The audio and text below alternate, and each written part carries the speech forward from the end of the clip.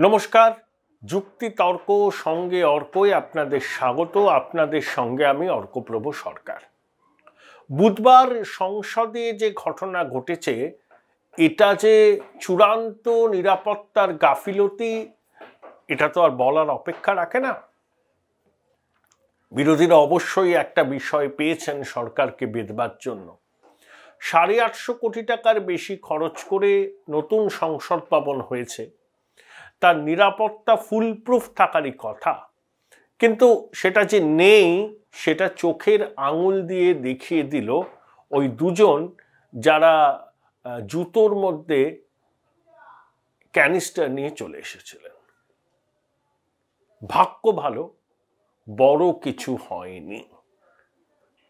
হতে পারত যে বিষাক্ত গ্যাস বা অ্যানথ্রাক্সের জীবাণু বা অনেক কিছু তারা নিয়ে আসতে পারত মানে খুব বরাত ভালো যে বড় কিছু হয়নি। চাপানুতর চলতে থাকবে কিন্তু এর দায় কিন্তু নিরাপত্তার সঙ্গে যারা জড়িত তারা এড়াতে পারে না। দিল্লি পুলিশও এড়াতে পারে না। দিল্লি পুলিশ আবার কেন্দ্রীয় স্বরাষ্ট্র মন্ত্রকের নিয়ন্ত্রণাধীন, তাই স্বরাষ্ট্র মন্ত্রকও দায়িত্ব এড়াতে পারে না। কিন্তু প্রশ্ন যেটা হচ্ছে যে সাংসদ পাস ইস্যু করেছিলেন, তার দিকে অভিযোগের আঙুল তোলা হচ্ছে, তাকে বহিষ্কারের দাবি করা হচ্ছে। দেখুন, সাংসদরা অনেক সময় অনেককে পাস ইস্যু করেন, বিধানসভাতে করেন, লোকসভাতেও করেন। সবসময় তাদের মনে কি চলছে সেটা জানার তাদের পক্ষে সম্ভব নয়, তাদের প্রত্যেকের ক্রেডেন্সিয়াল যাচাই করাও সম্ভব নয়। সাংসদের অফিস থেকে পাসগুলো ইস্যু করা হয়। এটাই রীতি, এতদিন ধরে হয়ে আসছে। তা বিজেপির ওই সাংসদ মাইসোরের যদি জানতেন যে এই ধরনের উদ্দেশ্য নিয়ে কেউ যাবে, তাহলে অবশ্যই তিনি নিশ্চয়ই পাসটা ইস্যু করতেন না। তো ওই সাংসদ বলেছেন স্পিকারের কাছে যে একজন যিনি ওই গ্যালারি থেকে লাভ দিয়েছিলেন, তার বাবার সঙ্গে তার পরিচয় আছে। তার বাবা দীর্ঘদিন ধরে ওই পাসের জন্য তাকে অনুরোধ করেছিলেন, সেই জন্য তিনি পাস দিয়েছিলেন। মহুয়া মৈত্রকে বহিষ্কার করা হয়েছে আর বিজেপির সাংসদকেও বহিষ্কার করা হবে উচিত দুটো কিন্তু এক বিষয় নয়। হ্যাঁ আমি এটা প্রত্যেক সাংসদের উচিত কাদের কাদের পাস ইস্যু করা হচ্ছে সে সম্পর্কে নিজেদের ওয়াকিবহল থাকা এবং সাংসদের অফিসের যারা এই কাজে যুক্ত তাদেরকেও উচিত যাদেরকে পাস ইস্যু করা হচ্ছে তাদের সম্পর্কে বিস্তারিত তথ্য, তাদের অতীত রেকর্ড সব কিছু চেক করা। বড় ধরনের গাফিলতি কিন্তু এই ঘটনা ঘটেছে বলে এটা সামনে এসছে। বহু সাংসদ কিন্তু সেটাকে এরকম পাস ইস্যু করেন। মহুয়া মৈত্র হচ্ছে তার লগ ইন আইডি, পাসওয়ার্ড দিয়ে দিয়েছিলেন। একজন শিল্পপতি বন্ধুকে তিনি দুবাই থেকে পঞ্চান্ন বার ওই লগ ইন আইডি, পাসওয়ার্ড দিয়ে সংসদে প্রশ্ন করেছিলেন। দুটো সম্পূর্ণ আলাদা বিষয়। দুটোর সঙ্গে, দুটোকে কিন্তু এক বন্ধনীতে রাখা যায় না। আজকে ওই মহীশূরের বিজেপি সাংসদ কাঠগড়ায় উঠেছেন, কিন্তু অনেক সাংসদ আছেন প্রত্যেক দলে, তারাও কিন্তু এভাবে পাস ইস্যু করেন, অনেক সময় ক্রেডেন্সিয়াল যাচাই না করে। বিশ্বাসে করেন, কি আর হবে? এরকম একটা ল্যাকাডাইজিক্যাল অ্যাটিটিউড থাকে অনেকের মধ্যে। বিধানসভাতে বিধায়করা যাদেরকে পাস ইস্যু করেন, তাদের কজন সম্পর্কে তাদের নির্দিষ্ট ধারণা আছে? তো এই হচ্ছে বিষয়। কিন্তু সিরিয়াস সিকিউরিটি ব্রিচ, এই বিষয়টাকে সংশ্লিষ্ট মহলের কিন্তু দেখতে হবে। না দেখলে পরে ভবিষ্যতে কিন্তু আরও বড় সমস্যার মুখে পড়তে হতে পারে। কিন্তু এই ঘটনা কিন্তু প্রথম নয়। আমার মনে আছে দু হাজার চোদ্দ সালের তেরোই ফেব্রুয়ারি লোকসভায়, তখন তেলেঙ্গানা রাজ্য গঠনের বিল পেশ করেছে দ্বিতীয় মনমোহন সরকার। সেই সময় বিজয়বাড়ার সাংসদ, সম্ভবত রাজা গোপাল, তিনি খুব বড় শিল্পপতিও ল্যান্ডকো ইনফ্রাটেক বলে একটা কোম্পানি আছে, তার অন্যতম অংশীদার। তিনি পেপার স্প্রে নিয়ে সংসদের মধ্যে ছড়িয়ে দিয়েছিলেন। যখন তেলেঙ্গানা বিল পাশ হলো, তিনি ওয়েলে নেমে পড়লেন। খুব ভোকাল ছিলেন অন্ধ্রবাগের বিরুদ্ধে। তেলেঙ্গানার কংগ্রেস সাংসদরা তাকে ঘিরে ধরেন, তখন তিনি পেপার স্প্রে ছোড়েন সংসদের মধ্যে। তো সবারই কাশি হয়, কারোর চোখ দিয়ে জল বেরোতে থাকে। তো রাজাগোপালকে বিরুদ্ধে ব্যবস্থা কিছু নেওয়া হয়নি। তখন তোমার নির্বাচন এসে গিয়েছিল। কংগ্রেস তাদেরকে সাসপেন্ড করেছিল। দ্যাটস অল তখনও কিন্তু মীরা কুমার লোকসভা স্পিকার ছিলেন। তিনি কিন্তু রাজা গোপালের বিরুদ্ধে কোনো ব্যবস্থা নেননি। সংসদে ওয়েলে নেমে সাংসদদের লক্ষ্য করে একজন সাংসদ পেপার স্প্রে ছুড়েছিলেন দু হাজার চোদ্দ সালের তেরোই ফেব্রুয়ারি। তার ন বছর বাদে এই ঘটনা ঘটল। পেপার স্প্রে সংসদের মধ্যে ছোড়ার প্রথম দৃষ্টান্ত তৈরি করেছিলেন কংগ্রেসের বিজয়বাড়ার সাংসদ রাজা গোপাল। আমি এই ঘটনাটা আমি কোনো কাগজে সেভাবে দেখলাম না। তখন কিন্তু এটা নিয়ে খুব হইচই হয়েছিল। এবার আসি আজকের মূল বিষয়। মমতা বন্দ্যোপাধ্যায় যাচ্ছেন দিল্লি। আইএনডিআই এ জোটের বৈঠকে থাকবেন। তিনি বলেইছেন শিলিগুড়িতে তৃণমূল লিড করবে। আমি আইএনডিআইকে মানে ইন্ডি জোটকে তিনি লিড করবেন। ভালো। কারোর স্বপ্ন থাকুক উচ্চাসা থাকুক, সে তো ভালো কথাই। সেই স্বপ্ন উচ্চাসা পূরণ হবে কিনা, সেটা ভবিষ্যৎ বলবে। যদির কথা নদীর পারে তো কংগ্রেস দুর্বল হওয়ায় মমতা বন্দ্যোপাধ্যায় খুশি হয়েছেন। এই মকায় যদি ইন্ডি জোটে ছড়িটা ঘোরানো যায়। কিন্তু প্রশ্ন উঠছে প্রধানমন্ত্রীর সঙ্গে মুখ্যমন্ত্রীর বৈঠককে নিয়ে। সরগরম। সেটিং তত্ত্বের প্রবক্তারা আবার যথারীতি মাঠে নেমে পড়েছেন। আমি তাদেরকে দোষ দিই না। তাদের এটা রাজনৈতিক লাইন, তারা সেটা বলেই যাবেন। আপনি শতযুক্তি দিয়েও তাদের মুখ বন্ধ করতে পারবেন না। বলেই যাবেন। কিন্তু মানুষ কতটা বিশ্বাস করবে সেটাই হচ্ছে বড় কথা। প্রথম কথা, মুখ্যমন্ত্রী যখন যাবেন প্রধানমন্ত্রীর কাছে, বলছেন তো কেন্দ্রীয় বঞ্চনার বিরুদ্ধে একশো দিনের কাজের এবং আবাস যোজনার বকেয়া টাকা যাতে কেন্দ্র ছাড়ে সেই অনুরোধ করতে। কারণ অনেক টাকা কেন্দ্র আটকে রেখেছে দুর্নীতি হলে দুর্নীতিবাসদের বিরুদ্ধে ব্যবস্থা নিক বাংলাকে কেন ভাতে বাড়ছে প্রথম কথা, মুখ্যমন্ত্রী যখন যাবেন, তখন কি ফাইলপত্র নিয়ে যাবেন? অধিকাংশ সময় তিনি ফাইলপত্র নিয়ে যান না। তিনি নিজে চলে যান। তার সঙ্গে শুনলাম কয়েকজন সাংসদ যাবেন। কোনো অফিসিয়ালসকে যাবেন? কেন অফিসিয়ালসরাই এগুলো কিন্তু ভালো বলতে পারে। রাজনীতিবিদরা সব উপর উপর বলে একটা ফিগার কোট করেন। অফিসিয়ালসদের কাছে কেন্দ্রের পাঠানো চিঠি তাদের উত্তর এক্সাক্ট ফিগার কতজন উপভোক্তা কত টাকা পাওনা এই একদম তথ্যগুলো তাদের ফিঙ্গার টিপসের মধ্যে থাকে। Join Indian Institute of hotel management now right choice right decision এই অফিসিয়ালদেরও যাওয়া উচিত।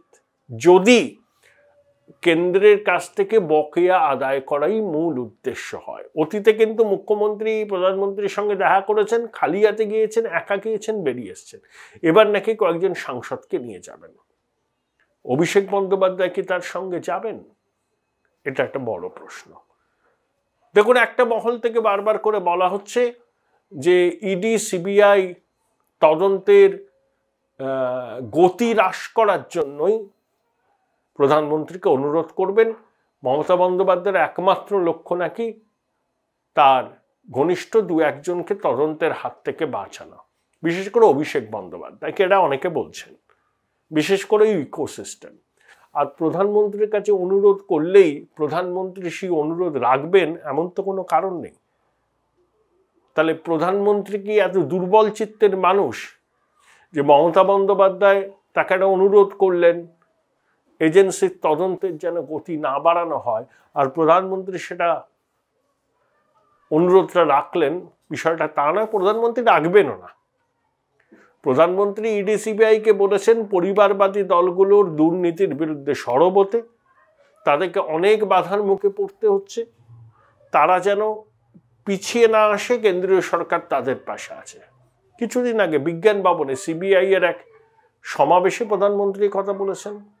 কিছুদিন আগেও তিন রাজ্যে জেতার পরে পার্টি অফিসের সামনে যে বক্তৃতা তিনি রাখলেন, সেখানেও পরিবারবাদ স্বজন পোষণ তুষ্টিকরণ, দুর্নীতির বিরুদ্ধে বক্তব্য রেখেছেন এবং এজেন্সিকে বদনাম করার চেষ্টা করছে দুর্নীতিগ্রস্ত পরিবারবাদী দলগুলো দর্থহীন ভাষায় বলেছেন।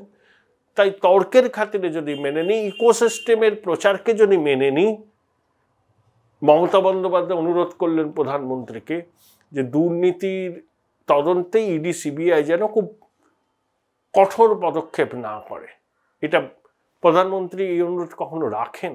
আপনারা যারা নরেন্দ্র মোদীর কাজকর্ম সম্পর্কে পরিচিতি আছে, তারা নিশ্চিন্তে থাকতে পারেন, প্রধানমন্ত্রী অনুরোধকে কর্ণপাত করবেন না। তার উপরে আদালতের মনিটরিংয়ে হচ্ছে তদন্ত। কেন্দ্রীয় সরকার তো তদন্ত করাচ্ছে না, যে প্রধানমন্ত্রীকে বললে প্রধানমন্ত্রী আচ্ছা ঠিক আছে, আমি দেখে নেব। সেটা তো সম্ভব নয়, আদালতের মনিটরিংয়ে তদন্ত হচ্ছে। এটা তো বারবার সুপ্রিম কোর্ট টুপ্রিম কোর্ট সব ঘুরে গিয়ে সমস্ত কিছু এক্সস্ট হয়ে গেছে। তাহলে আদালতের মনিটরিংয়ে যখন তদন্ত হয়, তখন প্রধানমন্ত্রীকে অনুরোধ করে লাভটা কি? অতএব এই যুক্তি ধোপেটা কেন? এই যুক্তিগুলো সচেতনভাবে করা হচ্ছে, যাতে একটা ধোঁয়াশা তৈরি করা যায়। চোদ্দই ডিসেম্বর ইডি মুখ বন্ধ খামে অমৃতা সিনহার এজলাসে রিপোর্ট দেবে। কুড়ি তারিখে দেবে সিবিআই। আইনজীবীদের, ইডির আইনজীবী মাননীয় বিচারপতি অমৃতা সিনহার এজলাসে কি বলেছেন? We are unfolding the folding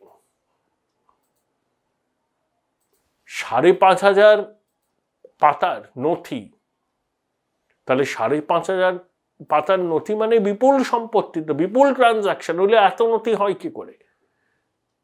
তাহলে দু হাজার চোদ্দোর কাল পর্ব থেকে এখনও অবধি সম্পত্তি বিপুল বেড়েছে কোম্পানির আর মাননীয় বিচারপতি অমৃতা সেনা বলেছেন যে ওই সময় থেকেই তো আমরা নিয়োগে দুর্নীতির কথা শুনতে পাচ্ছি। এই সম্পত্তির বৃদ্ধি আর নিয়োগে দুর্নীতির মধ্যে কোনো যোগসূত্র আছে কিনা, এটা এটিকে খতিয়ে দেখতে বলা হয়েছে। দেখুন, সম্পত্তির উল্কা সদৃশ্য বৃদ্ধি মানুষের চোখে লাগবে। কি ব্যবসা করেন? কি ইন্ডাস্ট্রি কি প্রফেশনাল কনসালটেন্সি তারা দেন? তাদের কনসালটেন্ট কারা? তাদের এক্সপার্টাইজ কি? লিপসন বাউন্সের কাছ থেকে কনসালটেন্সি কারা নেন? সেই কোম্পানিগুলোর কি ক্রেডেন্সিয়াল তারা কিসের ব্যবসা করেন? তা কিসের জন্য কনসালটেন্সি নেন? লিপসন বাউন্সের রিটেনার হিসাবে বা পে রোলে কারা কারা আছেন কনসালটেন্ট হিসাবে? এগুলো তো জানতে হবে। এগুলো তো জানতে হবে। একটা খুব ক্রিটিক্যাল জাংচারে দাঁড়িয়ে আছে। পুরো বিষয়টা। তার মধ্যে প্রধানমন্ত্রীর সঙ্গে মুখ্যমন্ত্রীর বৈঠক। দেখুন, প্রধানমন্ত্রী, মুখ্যমন্ত্রী হাজারবার বৈঠক করতে পারেন। সেই নিয়ে এত আমাদের মাথা না ঘামালেও চলে। কিন্তু মুখ্যমন্ত্রী তো মমতা বন্দ্যোপাধ্যায়, যিনি দু হাজার চোদ্দ সালে ক্ষমতায় আসার আট মাস পরে প্রধানমন্ত্রী নরেন্দ্র মোদীর সঙ্গে দেখা করেছেন। প্রধানমন্ত্রী দিদি দিদি বলে প্রচার করেছিলেন, আর মুখ্যমন্ত্রীর তো মুখের ভাষার বাঁধন নেই। কখনো অমিত শাহকে কি কিম্বুত কিমাকার নাড্ডাকে নাড্ডা পাড্ডা গাড্ডা কোমরে দড়ি বেঁধে নিয়ে আসতে হবে সব বলেছিলেন না? তখন একটু লজ্জা পেয়েছিলেন। আবার প্রধানমন্ত্রীর মুখোমুখি হতে হবে, সেই লজ্জা আড়ষ্টতা ভেঙেছে। কথা বলেছিলেন, তিনি যেতেই পারেন। পিনরাই বিজয়নও যান, স্ট্যালিনও যান, সবাই যান। প্রধানমন্ত্রীর সঙ্গে দেখা করতে যুক্তরাষ্ট্র কাটাবাটা খুব স্বাভাবিক ঘটনা।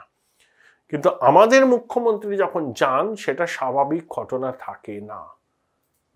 কারণ একের পর এক নিয়োগ দুর্নীতির তদন্ত করছে কেন্দ্রীয় এজেন্সি। তাই ব্যাখ্যা দেয়া হয় যে প্রধানমন্ত্রীকে অনুরোধ করছেন, তার সবচেয়ে ঘনিষ্ঠ প্রভাবশালীর কেশাগ্র যেন এজেন্সি স্পর্শ না করে। বিনিময়ে এগুলো ব্যাখ্যা ইকোসিস্টেমের। যদি সংসদে এনডিএ সমস্যায় পড়ে, মোদিজি সমস্যায় পড়েন, তৃণমূল বেল আউট করবে। এটা খুব সহজ সরলভাবে ছড়িয়ে দেওয়া হচ্ছে। Setting setting setting setting setting বলে। কিসের সেটিং যারা বলছেন তারাই জানেন। একটা জিনিস তো দেখছেন সেটিং তত্ত্বের প্রবক্তারা ইডি সিবিআই তাদের সাধ্যমতো তদন্ত করছে। কিন্তু প্রতি পদে পদে তারা বাধার মুখে। দেখুন, কালীঘাটের কাকুর কণ্ঠস্বরের নমুনা পরীক্ষা করার জন্য কত কাঠখড় পোয়াতে হচ্ছে। আমার মনে হচ্ছে এস এসএসকেএম এর অনুপ্রাণিত, গৃহপালিত কিছু চিকিৎসক নিজেদের ভুলটা বুঝতে পেরে ইডিকে সিগন্যাল পাঠাচ্ছেন। সেজন্য রাতারাতি কাকু কেবিনে স্থানান্তরিত হয়েছেন। এবার হয়তো এসএসকেএম বলে দেবে যে কাকু ইজ ফিট অ্যান্ড ফাইন আপনারা কণ্ঠস্বরের নমুনা পরীক্ষা করতে পারেন। কারণ মহিষী নারীকে অনুপ্রাণিত, গৃহপালিত চিকিৎসককুল বলে দিয়েছে, আর কিছু করা যাচ্ছে না। আর কিছু করতে গেলে হিতে বিপরীত হবে, তাদেরকে কাঠগড়ায় দাঁড়াতে হবে। তাই কাকুর কেবিনে ট্রান্সফার কিন্তু একটা বড় ইঙ্গিত ইডির কাছে। এবার ইডি কণ্ঠস্বরের নমুনা পরীক্ষা করার জন্য কাকুকে ইএসআই হসপিটালে নিয়ে যেতে চাইলে আমার মনে হয় অনুমতি পাবে। তারপরেও যদি বাধা সৃষ্টি হয়, অনুপ্রাণিত গৃহপালিত চিকিৎসকগুলোকে কিন্তু কাঠগড়ায় দাঁড়াতে হবে।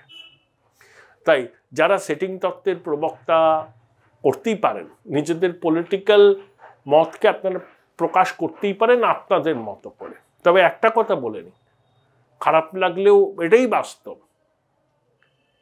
একজন কলম কলমচে খুব সুন্দরভাবে লিখেছেন, রবীন্দ্রনাথের জুতো আবিষ্কার কবিতায়, যে পৃথিবীর বুক থেকে ধুলিকণা সব মুছে দেওয়ার জন্য সারা পৃথিবীতে চামড়ার আচ্ছাদনে ঢাকার পরিকল্পনা নেওয়া অবাস্তব না? পৃথিবী থেকে ধুলিকণা মুছে দেওয়ার জন্য সারা পৃথিবীকে চামড়ার আচ্ছাদনে ঢেকে দেওয়া। অবাস্তব তো? সেই রকমই অবাস্তব হচ্ছে দু হাজার চব্বিশ সালে কেন্দ্রে নরেন্দ্র মোদীকে ক্ষমতা থেকে হটানো